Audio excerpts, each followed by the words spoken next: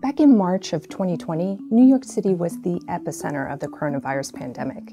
And in Manhattan's Chinatown, community members experienced it twice over, not just with the disruptions caused by the virus, but with the racism and xenophobia that surfaced alongside it, sometimes manifesting in violence.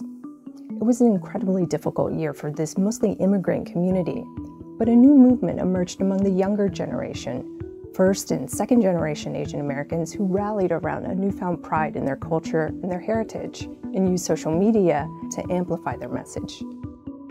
This is the story of Chinatown, Generation Next.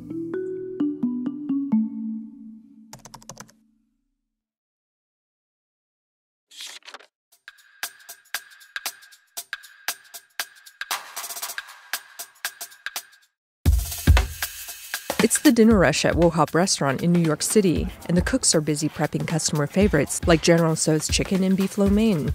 In this tiny basement eatery, the experience is definitely no frills. Photos and dollar bills covering nearly every inch of wall space serve as evidence of just how much New Yorkers love Wo Hop, said to be Chinatown's second oldest restaurant. David Leung is the majority owner of Wo Hop. His grandfather and father worked here for decades after immigrating to America, but Leung says he was never involved. I always knew that my father went to, work uh, late at night and I rarely saw him. He didn't bring his work home with him. I really didn't know what he did. Um, we rarely even went to the restaurant. About 10 years ago, Leung learned just how big of a role his father played at Wo Hop. I always thought he maybe was just uh, a manager. I didn't know that we actually owned the restaurant.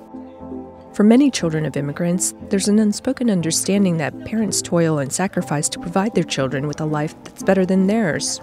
He wanted his kids to just go to school, study, get good grades. That's it, you know, and not be burdened by anything else.